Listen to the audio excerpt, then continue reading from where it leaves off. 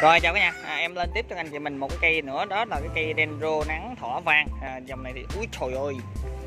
Cái bông nó cái cây nó, nó nó rất là tốt. Cái lô này cây rất là đẹp nha.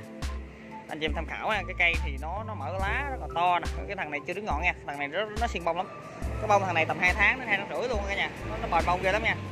Thì à, gửi cây thì em lựa những cây là một là cây nó nó, nó lùm hai nó lùm nó nó nó lùm nó quá chứ thực tế nó hai cộng à thằng này nó nó không có lùm nhiều nhất nha. Nhưng mà cái dòng này nó xiên bông lắm. Nó xiên bông cực kỳ luôn. Thì cái sản phẩm này em chia sẻ với nhà mình là giá 70 ngàn. À, 70 ngàn một cây anh chị à, giá 70 ngàn. Thì à, đặt hàng thì cái nhà mình cứ liên hệ combo 5 cây là bên em bao ship rồi nha. Ở dưới 5 cây thì 39 ngàn đồng giá hết cho anh chị mình dễ chơi. Tiền ship đó nha các nhà. Tiền ship thì 39 ngàn đồng đồng đồng đồng à, đồng giá hết. Cho nên chị mình đặt hàng bây giờ là không có sợ tiền cước ha. Cứ yên tâm. Cây nhỏ thì nó có mầm rất là tốt à cái này cái tơ hết à nhưng mà về đứng ngọn rồi. Về thì mình làm bông ờ, rất là nhảy. Cái dòng ờ, cái dòng thỏ vàng này nó ra bông nhảy lắm nha cả nhà. Bông không thơm nhưng mà nó xiên bông ghê lắm. Nó, nó xiên bông mà có bông nó lâu. Và hai cái cánh nó sững lên ha. Em chạy mặt bông trên màn hình luôn. Anh chị mình tham khảo cái dòng thỏ vàng này luôn nha cả nhà.